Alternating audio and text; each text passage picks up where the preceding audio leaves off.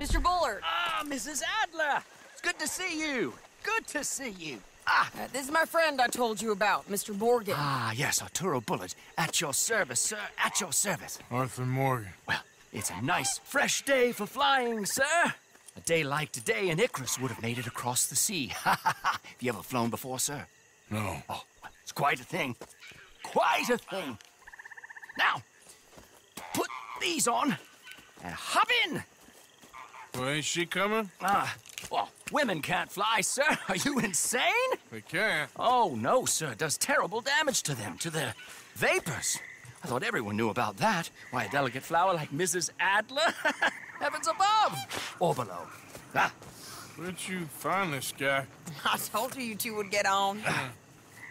Are you sure about this? certain, sir. Quite certain.